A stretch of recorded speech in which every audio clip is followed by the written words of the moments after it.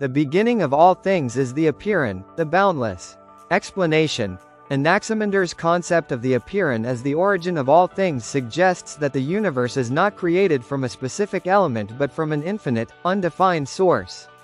This idea challenges us to look beyond our current understanding and seek deeper, more expansive truths. In our own lives, it reminds us that the unknown and the limitless potential of the universe offer infinite possibilities for discovery and growth. Things come to be and perish through strife, in accordance with necessity. Explanation Anaximander believed that the cycle of birth, death, and transformation is governed by the principle of necessity, where opposing forces are in constant conflict, leading to change and evolution.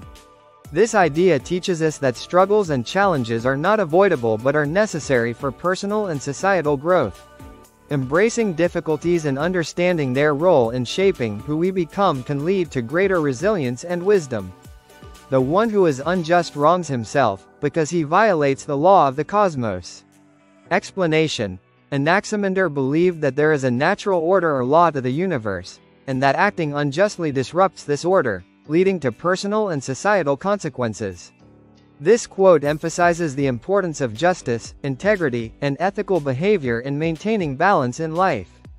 It teaches that violating the moral law not only harms others but also ourselves, highlighting the interdependence of ethical living.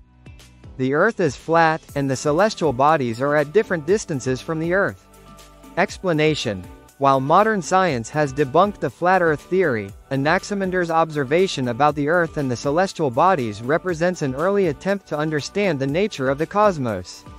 It encourages us to approach the world with a sense of curiosity and to keep questioning our assumptions. The pursuit of knowledge, even when it challenges existing beliefs, is essential for growth and discovery. Man is the measure of all things. Explanation while this quote is more directly associated with Protagoras, some interpretations link it to Anaximander's work in developing a human-centric view of the universe. It suggests that humans have the capacity to understand and measure the world around them, and that our perceptions and experiences shape our reality.